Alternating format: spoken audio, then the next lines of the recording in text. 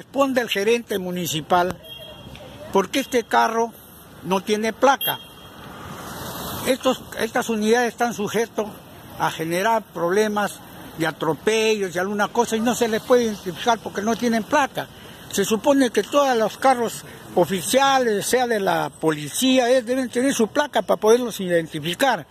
Pero ya vemos, a ver pueblo, a ver ciudad, ciudadanos, consideren, esto no es culpa de los choferes que manejan las unidades, sino de la irresponsabilidad de los gobiernos municipales que teniendo la posibilidad de ponerle placa a los vehículos no le ponen, ¿no?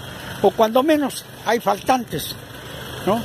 Todas las unidades oficiales deben tener su placa de identificación. Creo que el reglamento y, la ley lo amerita y se pide que esto se cumpla. ¿Por qué no se cumple? ¿Ah? Bueno, ya vieron que ahí hay una unidad que no tiene placa en la parte posterior.